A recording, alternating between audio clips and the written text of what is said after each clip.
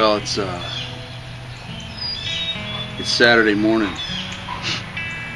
Um, and it's interesting. Can you imagine the conversations uh, the apostles were having on Saturday morning? Uh, you look at the scriptures and and, uh, and all the uh, all the gospels Matthew, Mark, Luke, and John go from go from taking Jesus' body to the tomb and closing it up, and then the next thing it picks up on is going to the tomb in the morning, you know, Sunday Right. morning. But bypass Saturday. but there's nothing written about Saturday, and it, it always intrigues me. Saturday. Today's Saturday, but I, I I love to put myself in the moment of Scripture, and and those guys waking up Saturday morning and and like thinking, man, was that a bad dream or what? Mhm. You know, I mean, it's, they'd be like, they killed him. they had to be devastated. They killed him. He's dead. They're unbelievable. You know, I mean, and not only did they kill him, they butchered him. Man, they hung him on that cross. And, I mean, he was a he was butchered, man. And he was a guy they had been with for three years. Right. Day in and day and out. all their hopes and dreams were pinned on him, and, and he was going to you know take over and rule. And, and then I think the fear probably started to overwhelm them, Yeah, and, and thinking like, if, if they did that to him, then we're next.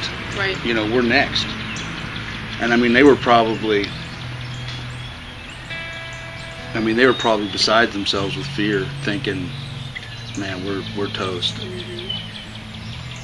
There's no mention of them remembering that Jesus said he was going to come back. I, I don't think that they could have imagined Jesus coming back at that point. No, it, no. It's not possible. Even though all the miracles that he had done, But- even though he told them, even though, but, but they're living in that moment, and, and, and the fear of, and I think the fear was based upon what was going to happen to them. They were scared about what lied ahead, what was lying ahead for them.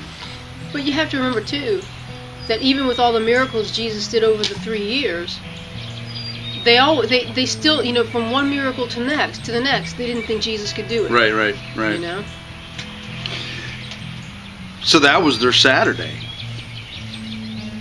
and I think a lot of, I think a lot of people, uh, myself included, at times, live in this Saturday, live in the Saturday of Jesus has done miraculous things in my life, but I kind of discount it and I start to get afraid about what's going to come. You- and, you and forget I, what you, he You forget, and you, and, you know that's what faith is. Faith is believing, but you can't see it. But we live in the Saturday. We live in the crushed dream state. We live in the Right.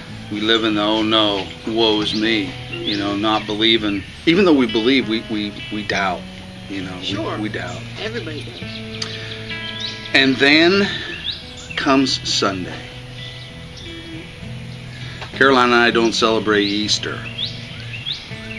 We celebrate Jesus Christ saving our life and the salvation by grace that God has given us Yeah. every day. Yeah, every exactly, day. exactly. This is we're going to celebrate it the same way we do every day, waking up and all day long thanking and praising Jesus. But Sunday comes and Jesus has risen and Jesus makes himself known. And then it's like their eyes are opened and they're they're like, "Whoa!"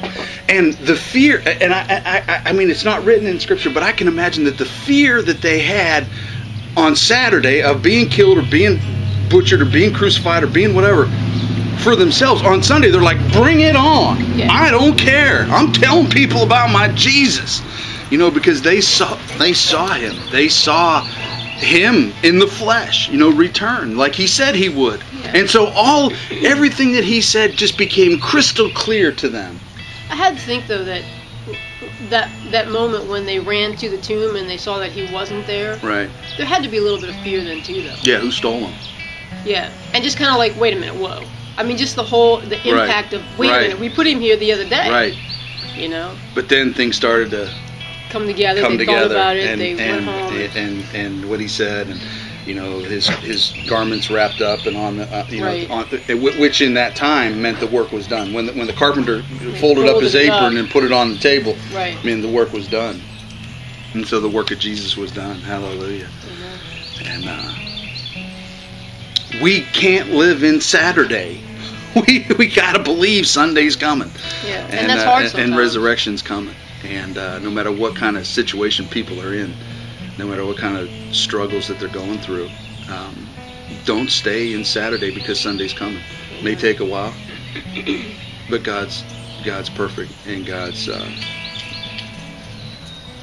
God's going to help me have patience in dealing with our dog. She's digging holes. She's in digging the holes in the. We have no garden anymore. She pulled the plants out of the ground. That's right. But we She's a great gardener. We love her. She's a good weeder. Look at her. Wow. God bless you. Um, if you haven't given your life to Jesus Christ, and I mean completely surrendered to Him, then uh, today'd be a good day to do it. Yep. Because it's kind of like, what are you waiting for? But really, wh- what are you waiting for? Because cause Sunday's coming. Jesus has risen. Jesus has defeated death. And the way to go and stay in heaven is by surrendering your life to Jesus Christ. That's all I got to say about that for another year. I'll do another Saturday video next year. There. Same time, same place. God bless you. Have a great day. Look at her. Look at her. Sam, stop. Sam, what the heck are you doing?